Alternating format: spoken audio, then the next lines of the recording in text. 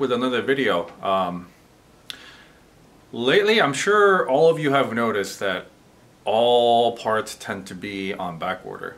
Um, we've been telling customers it's due to COVID-19, but it seems a lot of people don't understand what that actually means. You know, COVID lockdowns is a huge, huge part of why um, everything is delayed right now um, and why everything is taking three, four months to get. Um, let me uh, go through a couple articles here with you.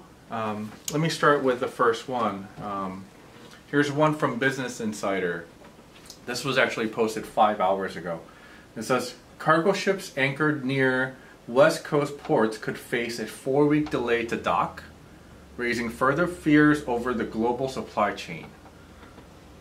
So there's from last um, research that I did, there's over 60 cargo ships right now just floating in the middle of the ocean, waiting to dock at the port. Now, not only are they having issues with clearing the containers that are already in port, they can't even get, there's, you know, basically ships out there at sea with their anchors down for weeks on end right now, waiting for a spot to open up so they could start unloading their containers. Um, here's another one. Here's another article. California ports aren't the only ones facing record backlogs of cargo ships. Three other U.S. ports have hit historic highs. Another one. Backlog of cargo ships at Port of LA reaches boiling point.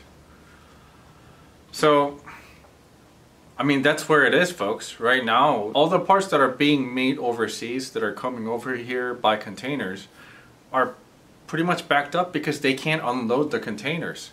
Um, so a lot of times we will get ETAs like, oh, okay, this item is um, expected to ship around middle of September.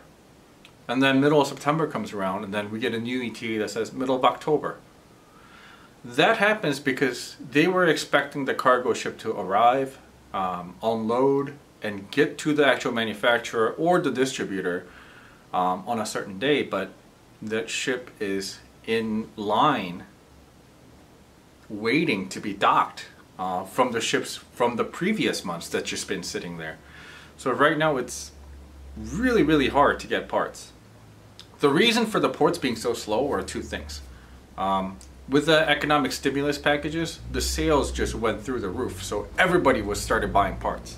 So the the demand went up, but the supply actually didn't because of the COVID shutdowns, both in China, um, in the U.S., basically everywhere in the world.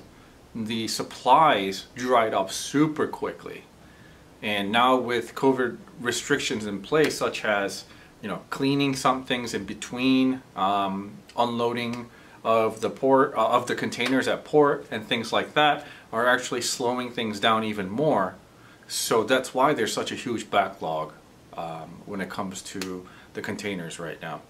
Now let's move on to something that you've all have noticed lately as well, not only for the delays, but the pricing of all parts have gone up. Um, we're looking at 10 to 20% increases almost across the board when it comes to parts. Um, the reason being is the um, the costs. The costs to build these products are now going up. Globally, there is inflation. So U.S. isn't the only country to give away free money or stimulus um, to try to get the economy going while everything was shut down. Overall monetary value of the dollar or yen or whatever it may be um, have gone down. And because of the lack of the supplies and increase in demand, the actual raw material costs have gone up. Um, in order to hire people back to start making parts have gone up. So across the board, everything has gone up. So it all trickles down, and at the end of the day, the parts prices have gone up. Again, all due to COVID-19. Um, it is it is a ripple effect. It starts with you know, that one drop and it ripples out and now we're experiencing higher prices, we're expecting super late delays on shipping, we're experiencing super late delays on manufacturing. Um, so like here's a uh, article from Wall Street Journal. Chinese factories delay new orders as costs rise, risking global supply shortages. Now this doesn't even pertain to just car parts. This pertains to a lot of different parts of, um, of the economy and of manufacturing because a lot of things are made in China, period. Um, and then to add to that, here's another article. Um, Chinese ports choke over zero tolerance COVID-19 policy. So with most of our parts being made over in China and their ports basically choking as in you know things are not moving out fast enough because they have to go through new steps, new um, cleaning processes, new COVID-19 processes they have to do in order to clear the item out to sea. Um, it's taking forever. But I mean, right now, that's the time we live in.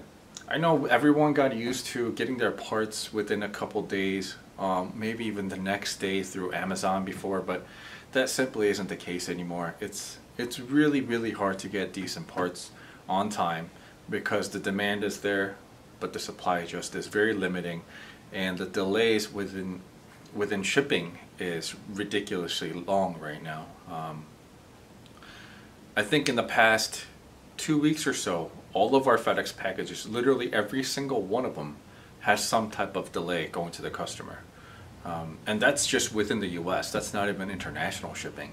So you can imagine how international it can be when domestic shipping is delaying left and right like that. So um, again, I ask for your patience. Um, I understand you paid good money for your products, but understand that this delay is on a global scale. It's not just you know few vendors, it's not just few manufacturers that's experiencing this. Um, even manufacturers that manufacture things here in the States, um, they still have to get their raw materials and the raw materials just is not showing up on time you know, we're just given ETAs that gets pushed back and pushed back and pushed back. So I just want to make this quick video to let you know what is happening um, so that you may understand um, with all the delays that's happening that it's not really under our control or anybody's control, in fact. So yeah, that's how I'm going to wrap up the video today. It's, I guess in a way, a pretty sad news that everything is delayed, but we'll make it through this all together one day, right? All right.